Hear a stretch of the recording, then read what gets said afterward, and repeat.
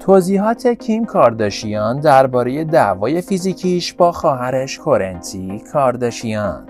کیم کارداشیان در مصاحبه با جیمی فالن گفت من هیچ وقت به خشونت متوسل نمیشم ولی کورنتی بازوی منو به شدت خراشید تا جایی که بازوم خونریزی می‌کرد. شما نمی‌تونستید جزئیات درگیری ما رو ببینید. من بازوم رو نگاه کردم و دیدم که چطوری خراشیده شده. نمی‌دونم چی شد فقط رفتم و بهش سیلی زدم. سلام. به یکی دیگه از ویدیوهای کانال تهران تیوی خوش اومدید. لطفا کانال رو subscribe کنید تا ویدیوهای جذاب بعدی ما رو از دست ندید. این چیزی نیست که بخوام بهش افتخار کنم. اما از این مشکلات عبور می‌کنیم من و کورتنی الان خیلی خوبیم. کورنتی به استراحت نیاز داشت و به نظرم این براش خیلی بهتره.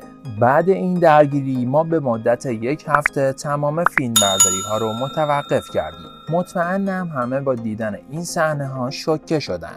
این کاری نیست که ما همیشه انجام بدیم. مامانم وقتی این فیلم رو دید خیلی ناراحت شد و گریه کرد و گفت چی شده؟ شما چرا این کارو کردی؟ خلاصه دعوا بین خواهرها یه چیز عادیه که پیش میاد. خیلی ممنون از تک تک شما عزیزان که تا انتهای این ویدیو همراهمون بودید.